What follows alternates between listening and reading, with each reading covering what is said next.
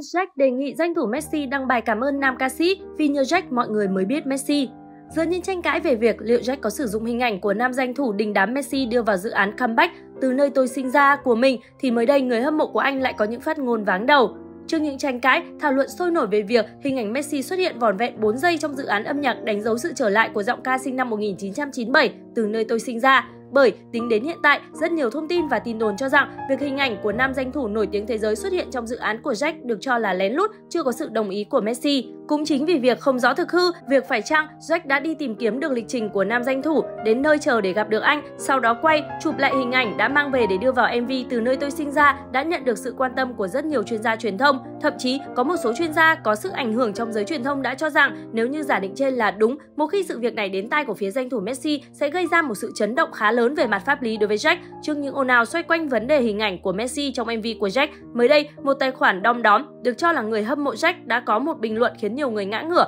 khiến cộng đồng mạng bức xúc. Điều này vô tình đẩy sự phẫn nộ đối với Jack lên một đỉnh cao khác. Cụ thể, tài khoản đom đóm này đã yêu cầu đề nghị nam danh thủ đình đám thế giới Messi công khai đăng tải bài viết cảm ơn Jack vì nhờ có nam ca sĩ sinh năm 1997 mà nhiều người mới biết cái tên Messi là ai. Trước mình không biết người áo vàng là ai, nhờ MV của Jack mình mới biết người này là cầu thủ bóng đá. Tài khoản Facebook được cho là fan hâm mộ của Jack bình luận. Với bình luận váng đầu của người hâm mộ Jack đã khiến cư dân mạng xôn xao để lại hàng loạt bình luận ca khịa. Lú luôn đó trời, mà giờ dám khi đưa hình hỏi lại Messi đang ôm ai, chắc ổng không biết là ôm ai, bắt tay với ai luôn quá. Cũng đúng mà, bữa xem một hai lần đầu cũng không biết áo vàng là ai, mà tôi vẫn biết tên Messi hơn chục năm. Xạo quá không có vui, chúng ta đừng nên xạo quá. Tôi đây không có bóng đá thì tôi vẫn biết Messi qua tin tức hoặc lướt face. Ai kêu không biết là xạo lắm nha. Một số cư dân mạng đã để lại bình luận. Trước đó vào ngày 31 tháng 8, Jack đã đánh dấu sự trở lại của mình sau một thời gian im ắng bằng MV từ nơi tôi sinh ra. Điều đáng nói trong dự án MV của giọng ca sinh năm 1997 có sự xuất hiện chớp nhoáng của cầu thủ bóng đá Lionel Messi đã gây chú ý trên cộng đồng mạng.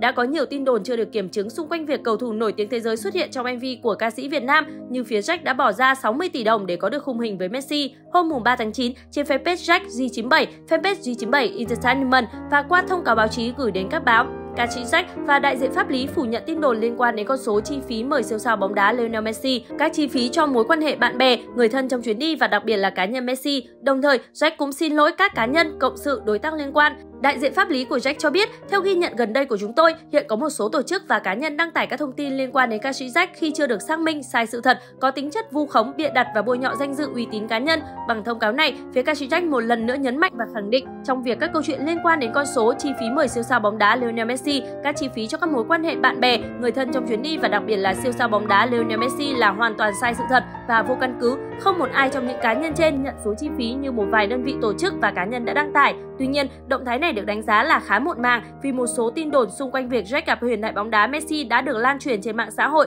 từ khi MV được tung ra.